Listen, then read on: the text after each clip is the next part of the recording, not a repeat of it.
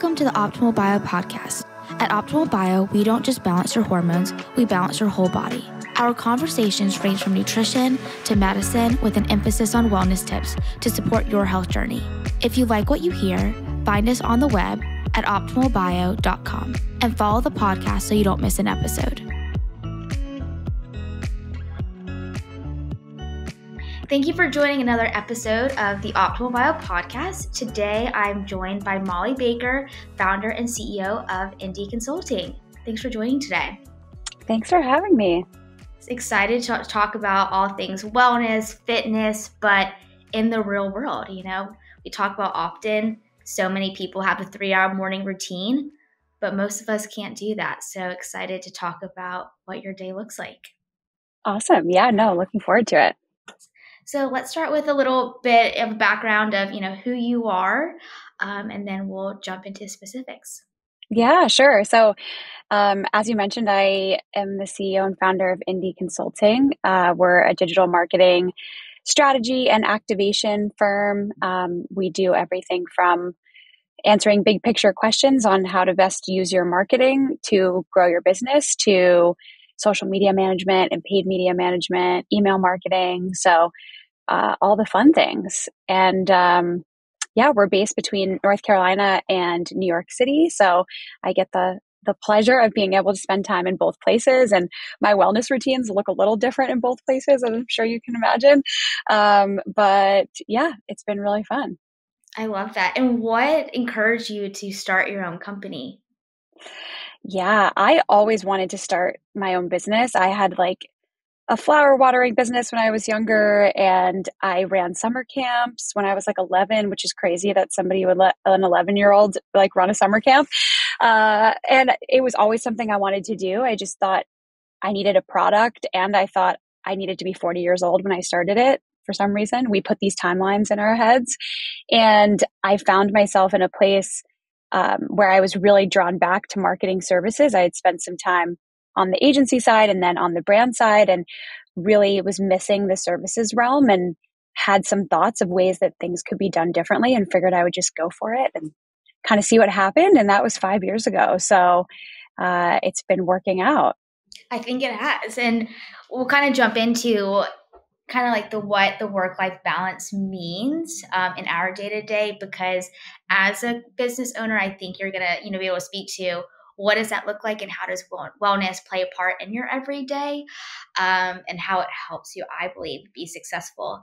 Uh, but you said you know in our minds we have such like oh at 40 i can do this at 50 i can do this and really taking that away. And as many people know i, I love nick saban. I think he is one of the best leaders but you know everyone knows he's one of the best college football coaches. But the point is he started alabama when he was 55 so it goes back to you can figure out your career and to be successful at any time. It's just putting in that work and staying consistent. A hundred percent. And if you want to go for it, you just got to go for it. It doesn't really, the rest doesn't matter. Oh, and you're never going to be ready, right? You just have to do it. And that's how you learn. Totally. Yeah. I mean, I was saying this to someone the other day. No one's ever ready. And you think, like, oh, but I haven't done XYZ things yet that would give me the knowledge to be able to do this. But there isn't a formula for that. So you just got to jump off the deep end. Exactly. And that's the best way to learn is by doing it and just having to figure it out because you know, textbook uh, you know, equation it's like but that's not real life and you have to figure it out. If you're in the service industry, you have a team, you know, it's like real life things you have to figure out. So you mentioned your wellness routine looks a little different in each city. So kind of walk us through you, your non-negotiable for a wellness routine and then we'll kind of break it down like when you're traveling when you're home. So i am addicted to movement. I like it's been an, an exercise for me to get to a place where i don't work out every day. Like i it's it's it's been unhealthy at points in my life. Um, but i think when you have the right balance with it it does bring so much it's a stress reliever. It gives me a lot of mental clarity. It's a great way to start my day or end my day. Um, so that's a huge part of, has been a huge part of my routine for a very long time. Uh, but I think as I've matured and grown up and learned different things about myself and this space, having rest and introducing that into my schedule has been a game changer and it took a lot of work. I feel like I'm I'm weird in the sense of like I sometimes think people have the opposite problem and I need to like work on slowing down and taking the, that those timeouts from time to time. And I think that's so important because I think we're told as a society and depending on it's just that we have to be go go go. And especially working out you have to do it every day. You have to be short of breath. But then as like more studies come out more people learning about say especially women's health and how we're supposed to work out is really realizing that rest is so important because that's when your body can like reset, recharge, build muscle. So you do come back stronger instead of just burning your body out. Totally. Yeah. And when I was eh, post college in my first job, I was living in New York City and I was like, okay, every day I have to get up before 6 a.m., make sure I'm running or in a workout class. And like there was never that could never change. I was so rigid about it. And some days you would feel terrible. You'd be like, terrible. Yeah. What am I doing? I can't even like get through this run. And then you beat yourself up over that. So now, especially in New York, like my schedule looks so different every single day. Like maybe I work out after work tonight, or maybe I do something like much lighter today, or take the day off and put more into my weekends where I have some more time. So I think just being more flexible about, to your point, like the ebbs and flows of life and your body and your schedule is so important. It is so important because you want something that's going to be lifelong, right? Not just you're doing it for a few months because like you said movement is so important to your health, physical health, mental health, like prepping you for a meeting. It's, you need that movement. Um, like, you know, it's like depression, anxiety is rampant everywhere. Some of the best things to do is literally just to move. And especially like movement is going to look for different for each person. Like walking. Walking is one of the best things for you. And I think people forget that. And then you're in nature. But, you know, I think we can talk over and over the importance of rest because it's, and like you said, it's an everyday reminder. Like we know we need rest. We know we need to switch up um, workout routines, but it's hard to fully think that like it's okay to take a moment. And then when you come back, you're so much stronger in the gym. But like you said, like sometimes you're in class and like you're dying, not in a good way, right? And it's like, well, why? Yeah, no, for sure. And you know, you talked about kind of your like how it helps you, you know, with your energy, brain clarity. Do you think it, you know, how you're so successful, do you think it plays a part of kind of your focus on wellness as well? Yeah, no, absolutely. I mean, I think my, I have my personal life and my work life impact each other so much. I think um, I love running marathons, and that's been a huge part of my past decade plus at this point. I think I've run like 10, over 10 marathons now. And that mental exercise, like I find now I find marathon running more about the mental work than the physical work. And I think building that muscle literally as like how to push through hard times or like pitfalls or like when you're really t- down on yourself has translated so much into just more resilience in my business and my professional life as well. So I think they go hand in hand because when you're building a company, as you know, it's not it is a marathon. It's not a sprint. It's not a 5k it's like you're in it for the long haul and there's going to be some really rough patches and how do you kind of like push through those times to get to whatever that next destination looks like, I think they have a lot of parallels. Exactly. And like your brain is a muscle. Like you say, like building your brain. I think people forget that. And so it's like if there could be a rule at Optimal Bio that you have to work out in the morning, whatever it may look like, it really does make a difference in your mood, how you show up. Because, like, wait, I already did that workout. Okay. And then you can be able to manage stress more project, whatever may come, in that discipline. Like you showed up for yourself. So you're going to give yourself like that confidence that you may not even realize.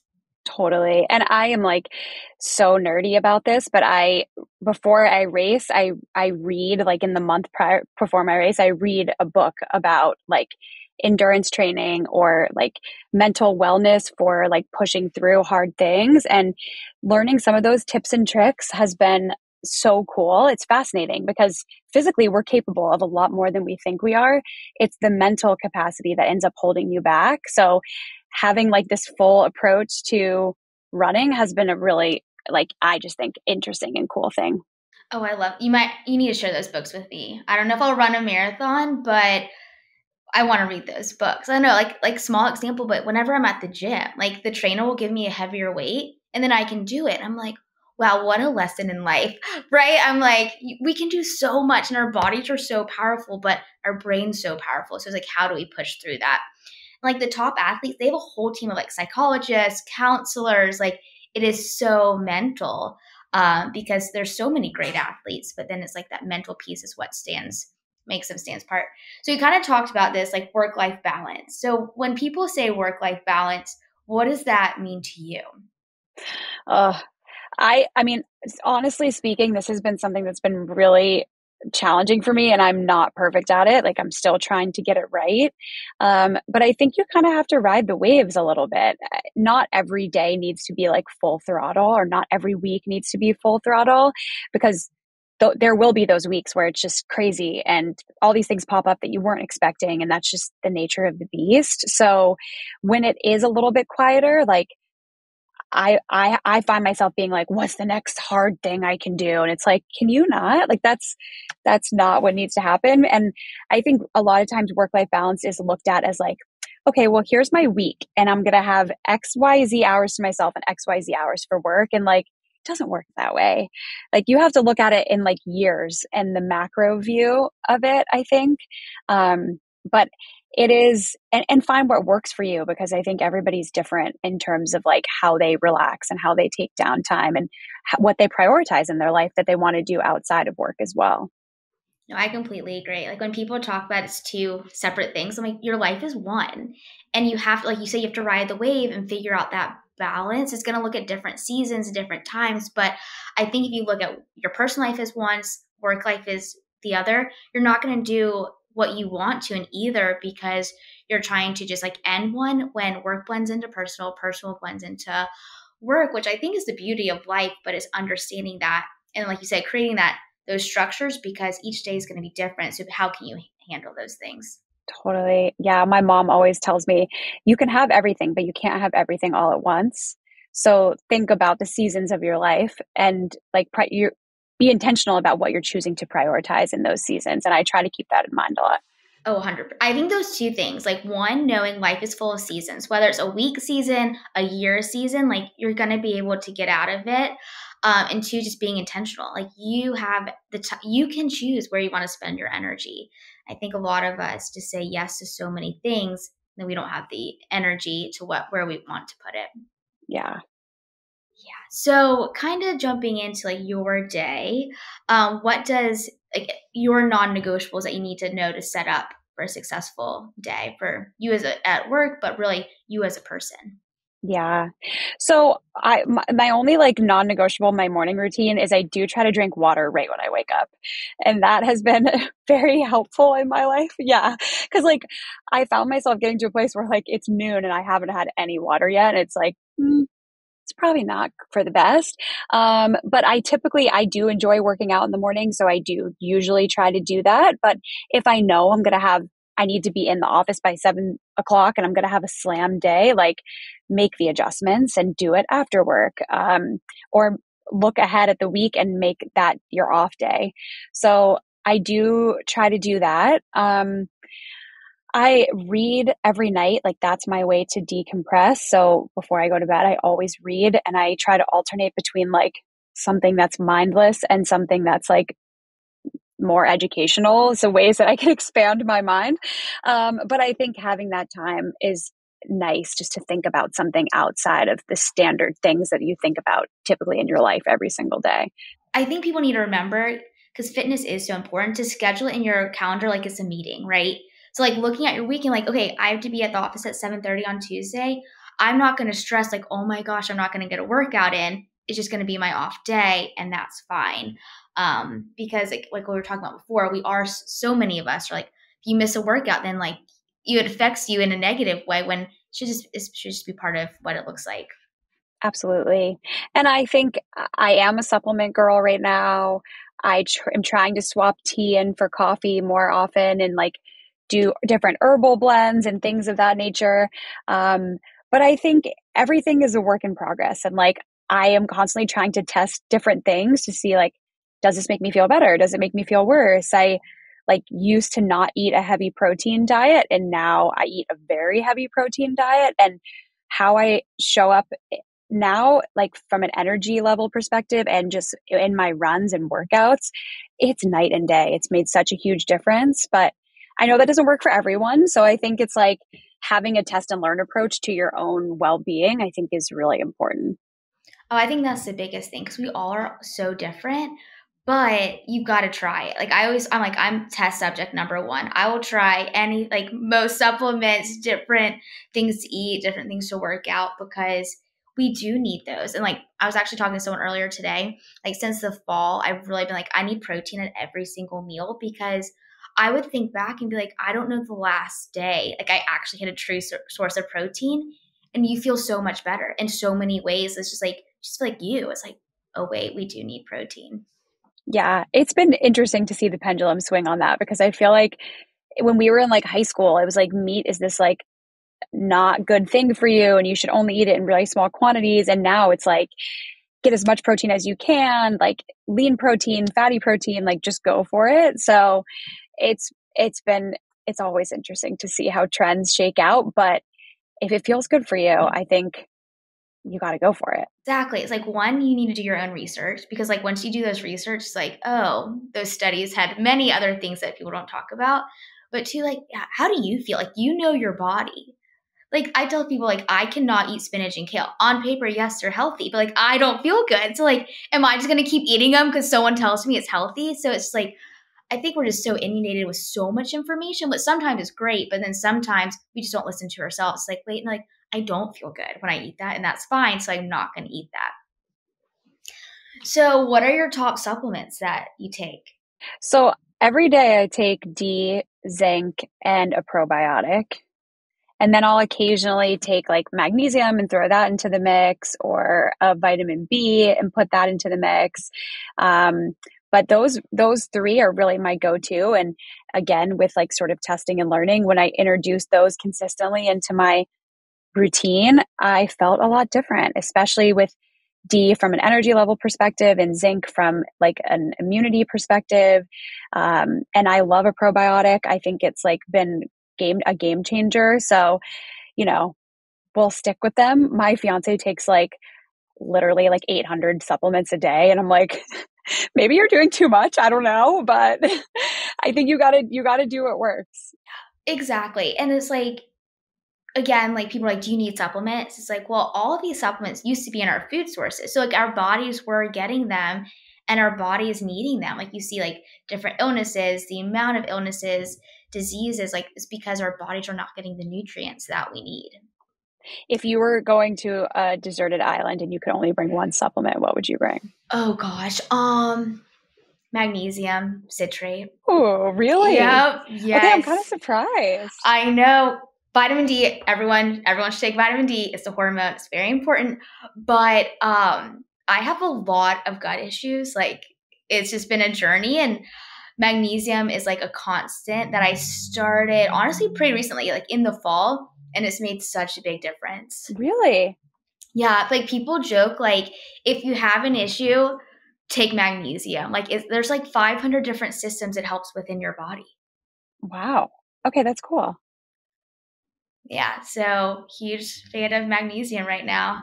And I think I, I like tell everyone, I'm like, are you taking magnesium? Like, you should take it. Of course, after I think foundational, like what you're like vitamin D and a probiotic, you have to because your gut connects to your brain, your body, it metabolizes everything.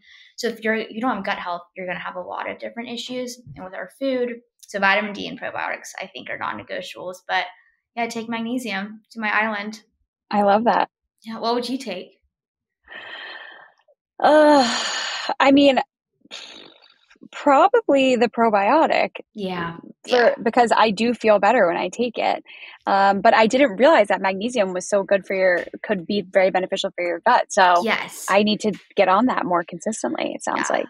Yeah. Look at magnesium glycinate or uh, magnesium citrate. Um, and also the sleep with magnesium, like I don't have trouble sleeping, but when I take magnesium, like my sleep is sound, right? Yeah, I have noticed that. I know I'm doing dry January, unfortunately, and I keep seeing this Sleepy Girl mocktail that's everywhere. That's like the magnesium powder and seltzer water and some kind of like fruit. Um, but I feel like I need that just to, you know, try it out. Yeah. Do you take um colostrum? Have you jumped on that? I have not. I, I keep thinking about it, but I haven't pulled the trigger. Same. I ordered it. Like it's in my kitchen. Like it's on my counter because it seems incredible. But there's I saw like a Sleepy Girl tea. It had like the colostrum, the magnesium, something else, and I was like, okay, yeah. I listened to a neuro um a neuro pediatric neurosurgeon talking about the benefits of colostrum, and I was like, all right, I gotta try this. Well, if you try it, you have to let me know. I will. You know, I'll I always share. Um, you talked about um, drinking water, which is, I feel like, step one for everyone. We all need to drink more water. But I started drinking electrolytes a few months ago because, again, everyone talked about the benefits of electrolytes. What are your thoughts on electrolytes? So, I'm a, an electrolyte fan. I feel like I can tell when I really need electrolytes versus when water's going to do the trick. And I was really dialed like when i'm training hard for something i drink a lot of electrolytes and then i kind of was finding that like i just like that better than water and i was like all right i gotta rein it back a little bit here um, but i am a fan because i do think sometimes like and i'm sure everyone feels this way like you have a certain level of like satiation where you're like I think that's the right word, where you're like, I am so thirsty, but water just isn't doing it for me. That I feel like you feel so much better um, when you go to the electrolyte side. I agree. I've told so many people to, to get electrolytes because we need like salt is most of our body. People think it's water, but it's actually salt. Um, see, I started drinking a few months ago, but really started because one of my friends kept having like horrible stomach pains, was going to doctors, and like they had no idea.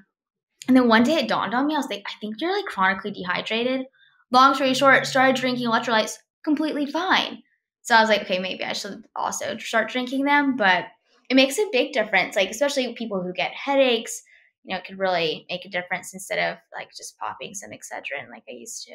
Yeah, yeah, for sure. Yeah, it's like once you know like how bad those medicines are, it's like, oh, maybe I should like use them sparingly.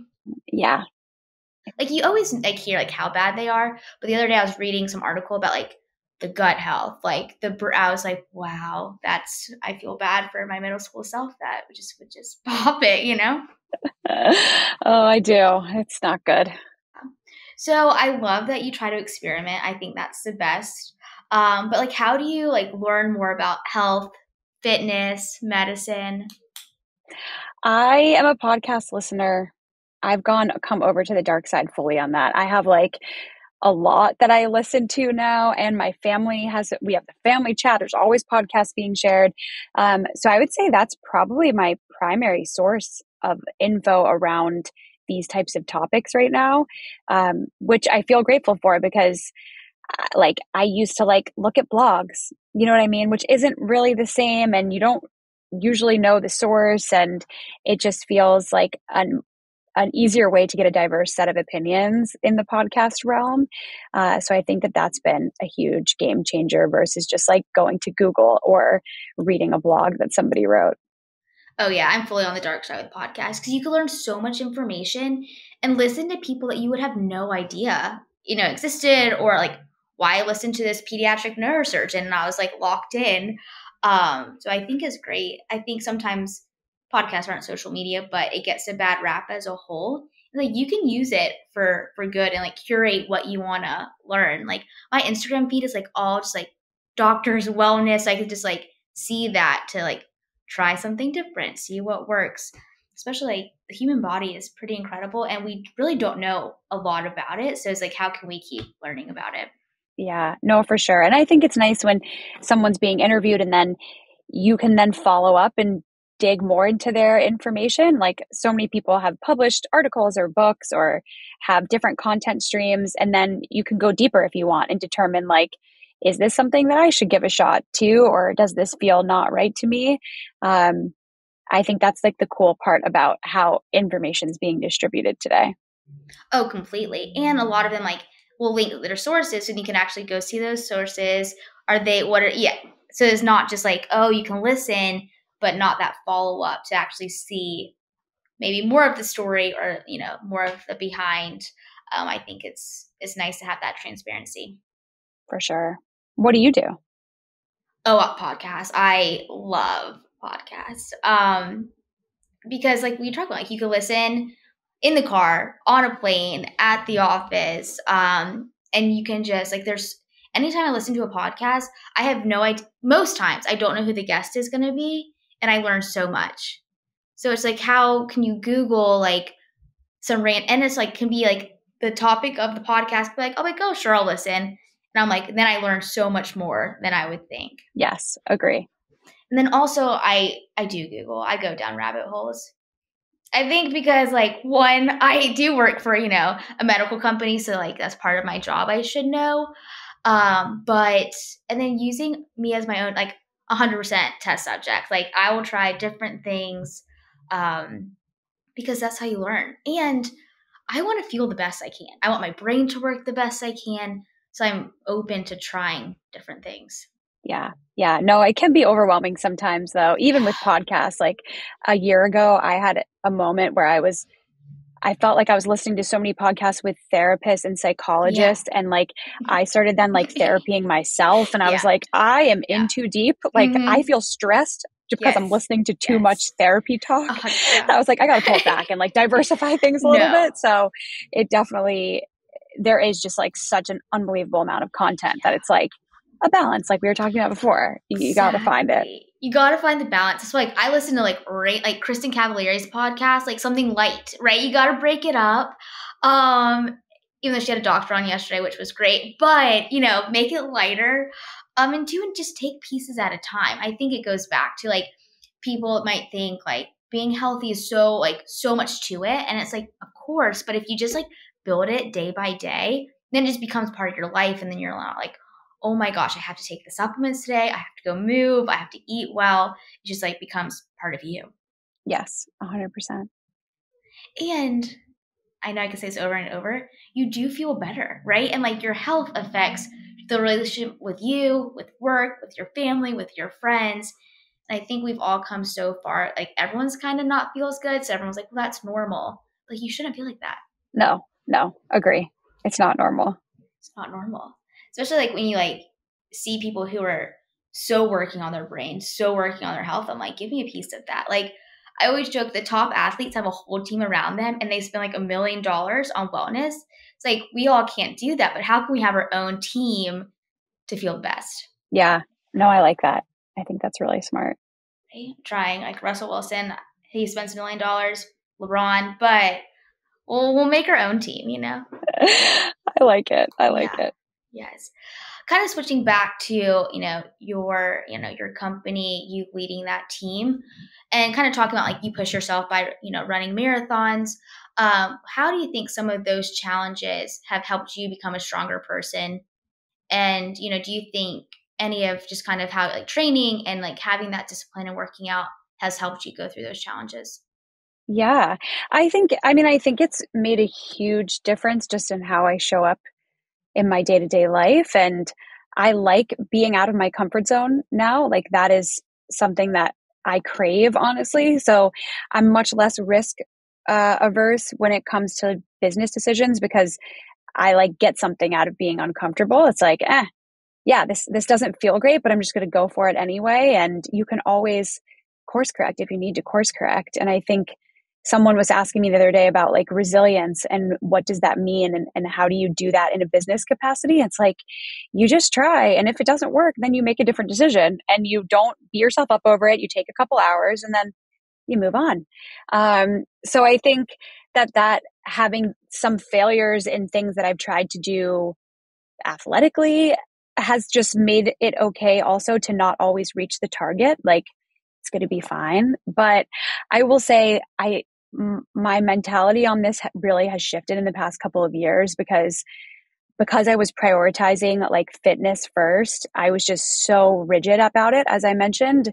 And I think you have to have, like, to be healthy, you have to have like synchronicity between the mind, body, and spirit. And I was putting body so much higher than everything else.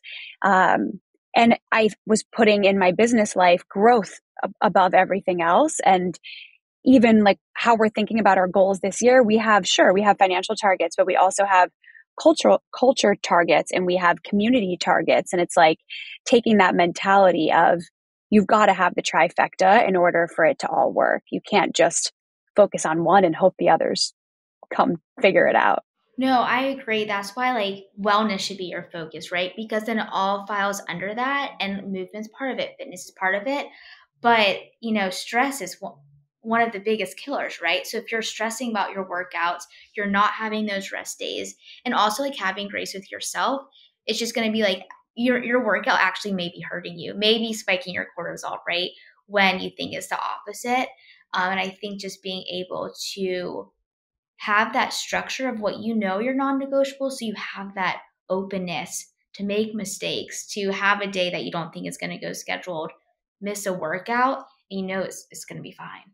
Yeah, no. And, and making, being thoughtful about, okay, what types of things are going to strengthen my mental health? What types of things are going to strengthen my spirit? Like what, what brings me peace from a spiritual perspective and putting more tangibles into those two buckets has been super helpful like i see a therapist regularly and i am like looking for ways to better communicate and respond to things and like regulate my emotions and i think that's that's really important versus just like trying to ignore some of those pieces um, and uh, putting thought towards that has made a huge difference as i like look at my sort of wellness practice at large. For sure. I think those pieces that people try to ignore are the hardest piece, right? Because it may be, you know, one we talked about earlier, like you have to be intentional. And I think a lot of that comes with boundaries and saying no. And I think a lot of people haven't done that work. So then it, there might be pushback. So it's just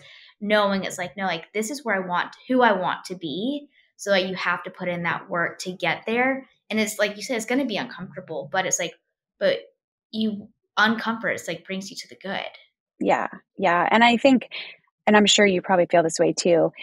My biggest gratitude towards my experience building Indie has been like how introspective it's forced me to become because I take it so seriously that people want to work here and want to be on this team. Like it's the greatest honor of my life. So how do I need to improve to be the best version of myself to be the leader and be the person calling the shots and really taking a look at yourself to say, okay, how can I be honest about my weaknesses? Like I'm not perfect.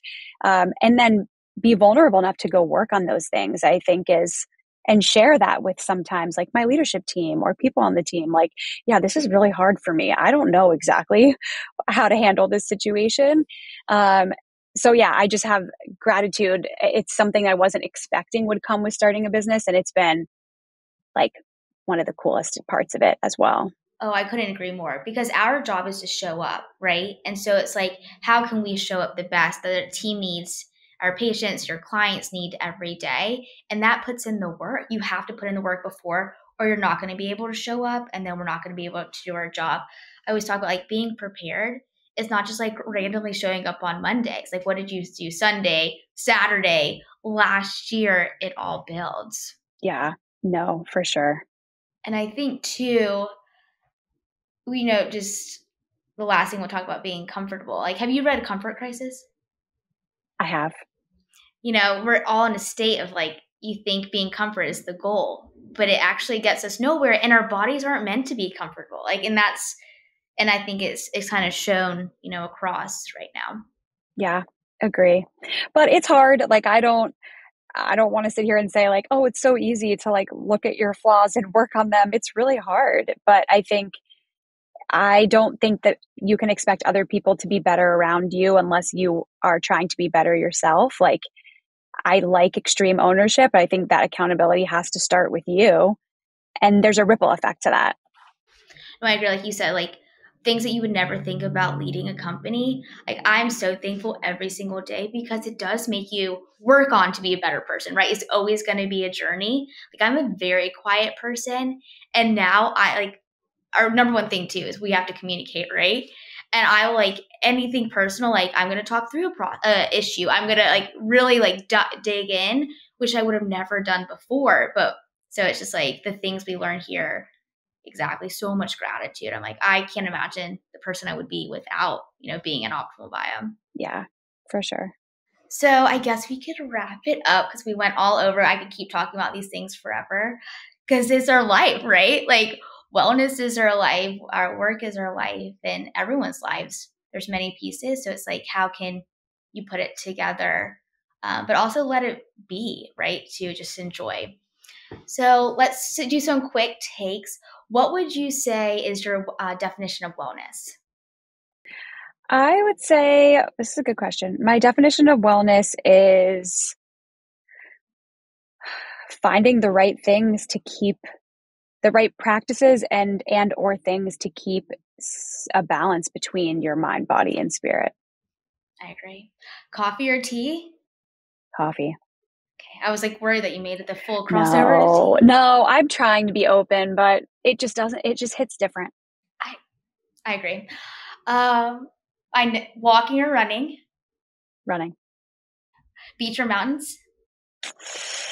This is hard because I really do love both, but I'm I'm like craving the mountains so much right now. I have to say mountains.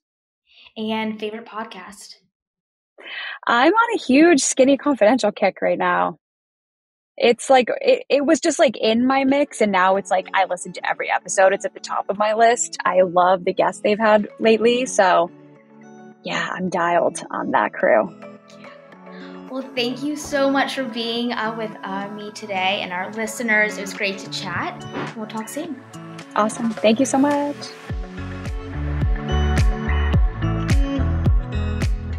This has been a production of Optimal Bio. Optimal Bio is CEO Tyler Brandon, podcast host and partner Jim Baker, medical director Greg Brandon, production assistance by Core Media. Beth Grabencourt, administrator, Kevin Duthu, executive producer. The podcast can be found on our website, optimalbio.com, on Apple Podcasts and Spotify. Our theme song is Sunwave by Paradiso, provided by Epidemic Sound.